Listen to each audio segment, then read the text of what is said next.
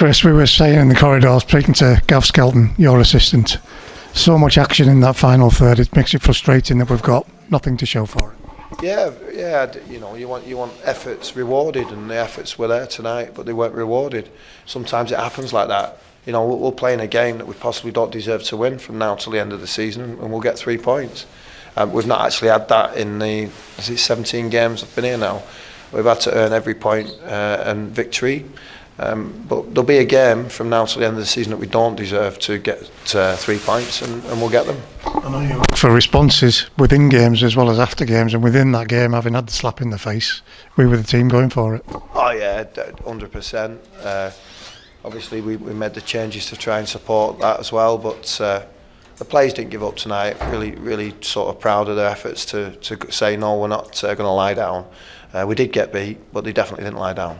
I know that you don't like getting beat at all, but the, you've said it before. There is a way to do it. That's the way. That's what you want to see. The, the lads, as you keep saying, representing Carlisle United. Yeah, uh, and they did.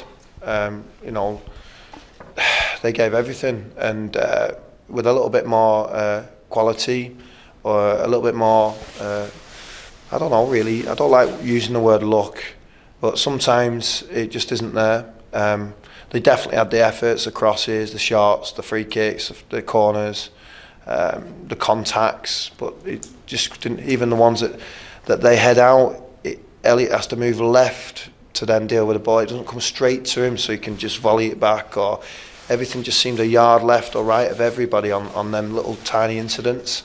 And sometimes it's like that, but really pleased with, with the bodies we had uh, and the areas we played in and how we constantly attacked Cheltenham. The key thing here is what we weren't seeing earlier in the season is that we keep going, even when them things don't fall our way. We keep going at it. Yeah, hundred percent. My my job, uh, the players. Uh, very disappointed if that doesn't happen. So I am not disappointed tonight because that didn't happen. But of course, we're in the business of, of, of wanting points, and we didn't get them. But uh, in terms of everything else, uh, they definitely ticked the box. Defensively, we were strong again against you know the conditions as well as the the, the, the, the play that came at us. But disappointed with the manner of the goal. Yeah, definite. And to be fair, I put the players under extra pressure second half. You know, by playing even sticking Byron up front for the last sort of five. Well, with the eight minutes added on, he probably had, I don't know maybe ten minutes up front, which which poses different uh, areas for Cheltenham to expose, but they couldn't really. Bar them having uh, four or five uh, throw-ins in the last sort of I don't know 10, 15 minutes in that far corner in front of their fans. Uh, they didn't really impose any threat, and I was really pleased with how we went about that second half. There was only one choice for man of the match tonight. It had to be Byron. He's had another standout performance. Yeah, he has. He's been brilliant, uh, and he leads. Uh, he speaks well. He tries his best. He recovers well. He does professional things to make sure he's available for every game.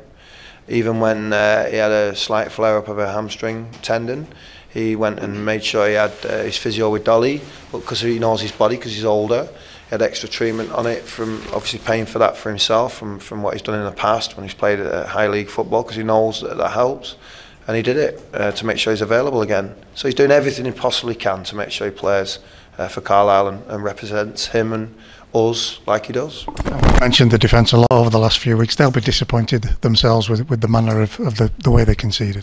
Yeah, it's just uh, a bit of a dead rubber that one, it that goal, but uh, it happened. And of course, when we get that chance, the officials, you know, maybe they are the lads offside, and they were arguing that they were. But uh, on the on the half chances and the ins that we had, we didn't seem to get that rub either. Even when Nathan got through, uh, you know, close out for a penalty. Uh, a lot of close decisions on offsides, on sliding lads in, uh, and of course getting the ball flashed across goal a lot tonight. Uh, I want to see contact, I want to see goals, but uh, we didn't get it. You've mentioned Callum on to the, the radio interview already, but it was a horrible one. Nobody likes to see anybody go off on a stretcher. No, and I don't think they will. To be fair to them, you know, uh, I don't think they will. Um, but I've seen that now. Two home games, two poor tackles, two players injured that represent Carlisle. And I did ask uh, the referees, a boss. Uh, I rang him on Saturday night about the tackles on Harry. Uh, it's important that they look to protect players that, that, that want to play and run and, and, and, and, and do the right things in terms of uh, playing football and players that look to uh, not do that. Um, but that's the referee's job, not mine. Uh, the lads put themselves in that arena. Uh, fair play to them, they give it 100%, they put their bodies on the line, they put their lives on the line in, in, in, a, in a way. Uh, you know, it's their body, um, and for them to go all in like they did, sometimes they do need a bit of protection. I think Callum's just uh, come off on a rough tackle. Uh, he could have pulled out, he's at home, he's in front of his fans, he, he's, he's not going to do that he's an honest lad. That's why we signed him. But I hope the news is good and not too bad. Just on an aside, is it the phone calls when you make those phone calls, as you spoke about, do they make any difference? Do you feel like you've achieved anything? Well, yeah. One, uh, Harry knows I care, and it's important that we try and protect them. Two, I think it's good that anybody in the game is trying to improve it for the good of the game. It's not to gain a, an advantage for us. It's to just say let, let's try and play on a level playing field, and that's all you can ask of really. You can understand our fans' frustrations with the officials at the end of the game. I, I have 100% sympathy with him for that one. But uh, yeah, I'm not going to get myself in trouble. But it's just part of football, and sometimes you have to accept that. You know, I'm, I'm not naive enough not to not to, to look at it that way. But from our perspective, all of us, to see two good football players not you know not not available to carry on in that game, and Harry not carrying on Saturday, it, it's difficult to take when. Uh, can it be can it be protected a little bit more? We've spoken about the lads keeping going. We've seen again from yourself, you're not scared to make these substitutions. Sometimes eyebrows may be raised, but they're all done for the purpose of getting forward. Yeah, uh, no, Nick's recovered from injury. I just thought, obviously, he looked a little bit tired on one of the through balls, passed it over to Aaron. Thought Nick should have dealt with it.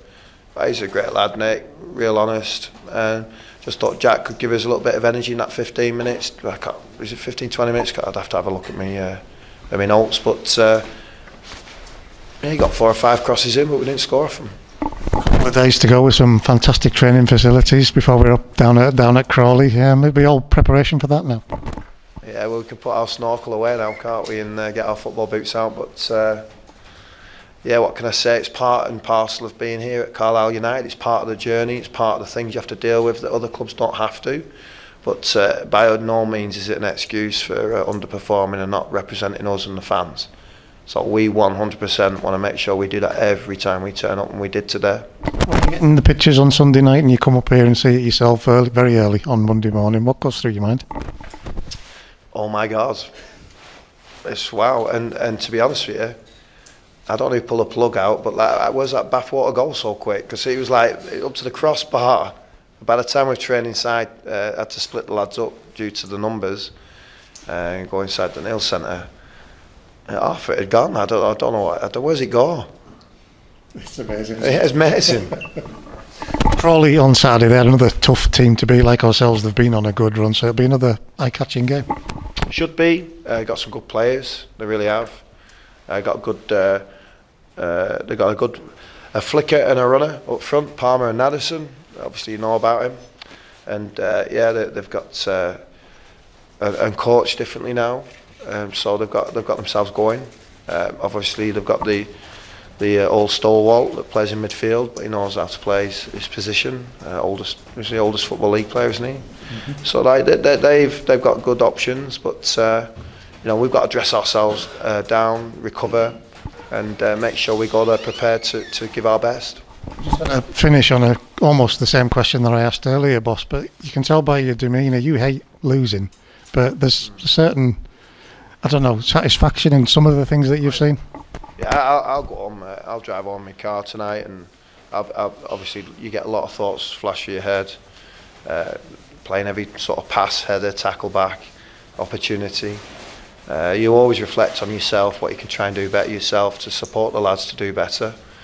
Uh, and then from that, you look at the players. Are they actually applying themselves to that level that you, you ask of them? And uh, I think tonight they did. So I have no criticism whatsoever for our team.